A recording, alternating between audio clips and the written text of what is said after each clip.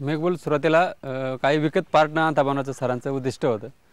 पाहिजे तसे बदल करायचे ते तोडायचं परत जोडायचं नाही चाललं परत नवीन बनवायचं. त्याच्यामुळं आम्ही दोन वर्ष त्याच्यात सामान आणून अल्टर करायचं. आणि ते फेल व्हायचं. पहिले फॅटचे टायर लावले नंतर गेअरबॉक्स बसवले. टायरचं डिझाईन केलं त्याच्यावर लोखंडाचे बसवले मातीत स्लिप व्हायचे म्हणून. क्लचमध्ये खूप प्रॉब्लेम यायचे. पहिले आम्ही बेल्टचा क्लच केला ते स्लिप व्हायचे. मग त्यात बदल करून डायरेक्ट जिपचा क्लच बसवला. आणि आता त्याला हायड्रोलिक स्टेअरिंग बिरिंग सगळं एकदम परफेक्टमध्ये तसं बसवलेले. आणि चांगल्या प्रमाणात चालू आहे आता.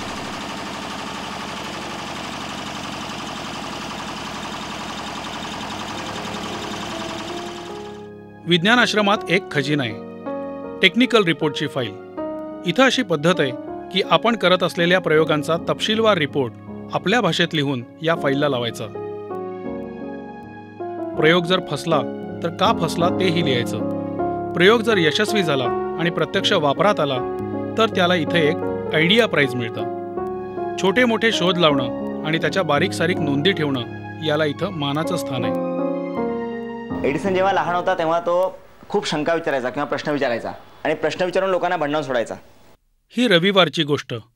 देश परदेशातले शास्त्रज्ञ नशिबाने नव्हे तर न थकता प्रयोग करत राहिल्यानं मोठे कसे बनले याच्या या गोष्टी. एडिसननी ज्या काही गोष्टी विचार केल्या होत्या त्या त्या काही गोष्टी नेहमीच्या चाकोरीबद्ध नव्हत्या. तर ऑफ द ट्रॅक जाऊन आपण विचार करायचा. नेहमीच्या प्रचलित पद्धतीपेक्षा वेगळा विचार करायचा. हे एडिसन ह्या पद्धतीमुळे शिकला. आणि तो लोकांना प्रश्न विचारायचा. लोकांना विचारायचा की तुला माहीत नाही तर का बरं माहीत नाही? म्हणजे आपल्याला सगळ्या गोष्टी माहीत असल्या पाहिजे. ही त्याच्या पाठीमाग त्याच्या मनामध्ये एक काय त्याला म्हणतात आस होती.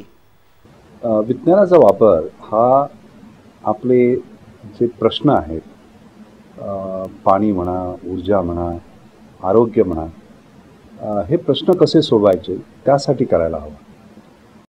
विज्ञान आश्रमाचा एकंदर प्रयत्न असा आहे की विज्ञान तंत्रज्ञान आणि समाज यांच्यातलं अंतर कमी व्हावं. एकीकडं माणसांना तंत्रज्ञानाबद्दल आपुलकी वाटावी हे प्रयत्न करत दुसरीकडं तंत्रज्ञान माणसांपर्यंत कसं पोचेल याकडं आश्रमाचं लक्ष आहे. उच्च तंत्रज्ञान समुचित तंत्रज्ञान अशी वेगवेगळी नावं जरी वापरात असली तरी हे तंत्रज्ञान वापरून सामान्य माणसाचं ओझं काही हलकं होतं की नाही हे शेवटी महत्त्वाचं. आय आय टी मुंबईच्या साह्यानं विज्ञान आश्रमानं बनवलेली ही वेबसाईट शेतकऱ्यांना यावरून थेट प्रश्न मांडता येतात आणि बारामतीचं कृषी विज्ञान केंद्र त्याला उत्तर देतं. पाठवलेल्या प्रश्नांची पिकानुसार वर्गवारी होते आणि एक मोठा डाटाबेस इथं तयार होतोय.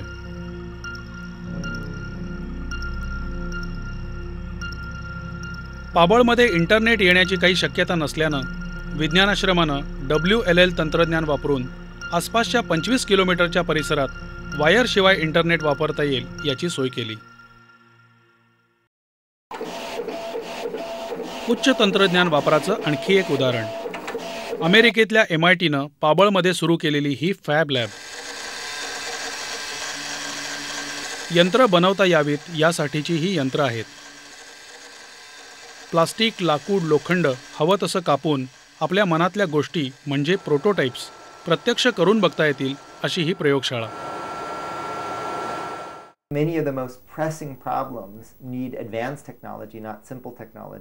अनेक महत्त्वाचे प्रश्न असे आहेत की जे सोडवण्यासाठी उच्च तंत्रज्ञानच मदत करू शकतं. मिल्क टेस्टरचं उदाहरण घेऊ. इथल्या सामान्य माणसाच्या दृष्टीनं दूध ही फार महत्वाची गोष्ट आहे. दुधाची तपासणी कशी करणार? दूध नास्त आहे हे लगेच तपासता येईल का? प्रयोगशाळेत असलेल्या एका महागड्या यंत्राच्या धर्तीवर आम्ही हे उपकरण तयार केलंय. दुधामध्ये ही अँटिना बुडवून त्यातल्या घटकांचा अभ्यास या मायक्रो सर्किटद्वारे करता येतो. याची किंमत सामान्यांच्या आवाक्यातली असेल. उच्च तंत्रज्ञान वापरून अशी अनेक उपयुक्त उपकरणं स्वस्तात बनवता येतील. मला या प्रश्नांची जाणीव डॉक्टर कलबागांनी करून दिली. त्यांचं म्हणणं असं होतं की लोकांच्या हातात थेट तयार उपकरणं न देता ती उपकरणं तयार करण्याचं ज्ञान द्यावं. म्हणून आम्ही ही फॅब लॅब सुरू केली. And so grew grew, that helped become the Fab Labs. So Fab Labs didn't come to Vigyan Ashram, sort of Vigyan Ashram helped invent Fab Labs. तर विज्ञान आश्रमानं ज्या प्रकारची दृष्टी आपल्यासमोर ठेवली आहे की स्थानिक पातळीवरच्या तंत्रज्ञानापासून सुरुवात करून पण त्याची उच्च तंत्रज्ञानाशी सांगड घालून त्याचा गाभा मात्र आम लोकांना समाजाला विद्यार्थ्यांना श्रमिकांना सक्षम करण्याचं असेल की जे एका अर्थी पुन्हा वर जाऊन उच्च तंत्रज्ञानावरती सुद्धा स्वतःचा ठसा उमटवतील एवढंच नव्हे तर ते हातामध्ये घेऊन त्याचा समाज कल्याणासाठी उपयोग करू शकतील.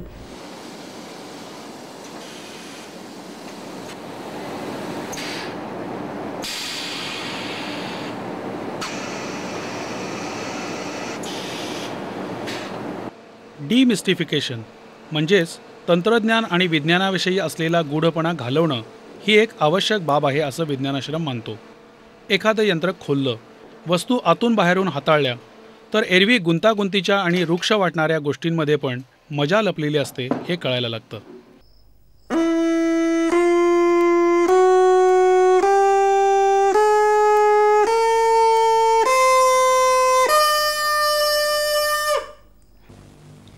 सगळीकडे मला असं वाटत होतं की आपल्या याच्यामध्ये एक अशी प्रवृत्ती आहे की जे आपल्याला समजतं ते सोपं करून दुसऱ्यांना सांगण्याऐवजी बरेच जण ते जरा जास्त करतात त्याच्या उलट मला नेहमी वाटायचं की मी ते जेवढं सोपं करून सांगू शकतो जर खरोखर समजलं, तर लहान मुलाला एक भाग समजावून सांगता आला पाहिजे तो बाज़ार का सिद्धांत यही है कि हर चीज़ को मिस्टिफाई करो उसके चारों तरफ़ एक और कि आम इंसान उसको समझ ना पाए, हैं?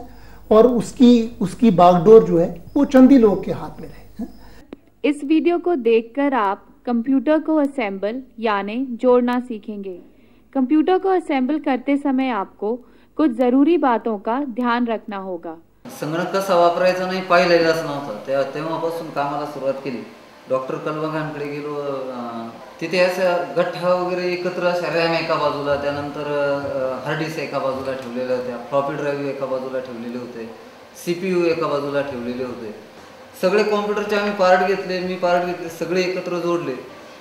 सगळ्यांचे कॉम्प्युटर तयार झाले माझाही झाला. प्रत्येकाचे एकेका वेळेला जोडून दाखवा असं सांगण्यात आलं. माझा कॉम्प्युटर मी जेव्हा जोडला त्यावेळेस काही चित्र वगैरे दिसेना असं झालं. म्हणजे याला काय होतंय मलाही कळालं ते परत परत सांगत होते की या ठिकाणी डॉक्टर सांगायचे बघ काय झालंय वगैरे. मी सगळे पार्ट हालून पाहिले परत जोडून पाहिले सीपीयू बसून पाहिला तरी नाही. मग त्यांनी सांगितलं असं कर तू परत एकदा आमचे विज्ञान आश्रमाचे लेसन बघ हार्डवेअरचे आणि काय राहिले ते बघ. मग मी परत एकदा हार्डवेअरचे लेसन पाहिले मॅन्युअल पाहिलं. एकदा पाहून काही समज नाही. मग दोनदा तीनदा चारदा असे लेसन पाहिलं आणि मग माझ्या लक्षात आलं की कॉम्प्युटरची आपण हार्ड डिस्कच जोडलेली नाही. त्यामुळे बाकी सगळं केलं तरी तुझे चित्र वगैरे काही दिसतच नाही. आणि मग ते हार्ड डिस्क जोडले आणि त्यांना बोलून आणलं. मला आनंद झाला आणि सरांना मी बोलून त्या ठिकाणी नेलं. पहा मी कॉम्प्युटर तयार केलाय चालू झालाय माझं मशीन म्हणून. त्यांनाही आनंद वाटला. म्हटले मी तुला एका मिनिटात सांगू शकत होतो की तुझी हार्ड डिस्क राहिली राहिली. पण आज खऱ्या अर्थाने तू ट्रेनिंग प्रोग्राम पूर्ण केला. अभी जैसे जिस तरह का काम डॉक्टर कालबाग ने करा कि कोई जैसे हत्तू नल है हत्तू नल को खोल दो उसके अंजर पंजर अलग करो हाँ? और उसमें देखो किस तरह के बैल्ब हैं किस तरह का पिस्टन है किस तरह की कनेक्टिंग रॉड है। तो वो अपने आप उसका खुलासा हो जाता है। नंतर हे रबर वॉशर आहे त्याला गास्केट म्हणायचे ह्याच्यावरती बरोबर बसतं. म्हणजे इथून पाणी खालती नाही जात. पिस्टन यामध्ये पिस्टन आहे. पिस्टन वर गेला की हे वर जाणार. कारण मध्ये पोकळी तयार होते. मग खालचं पाणी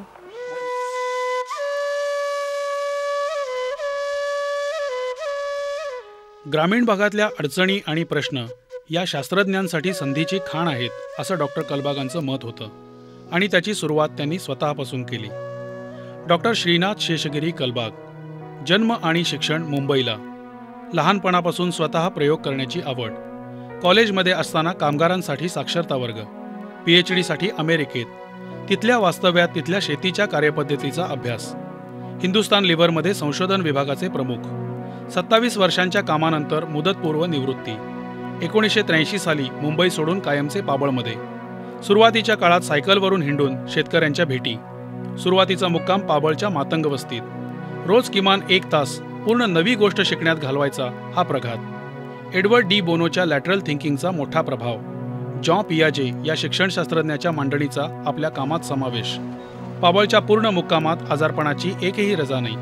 सगळा प्रवास पूर्णपणे एस टीच्या साध्या बसमधून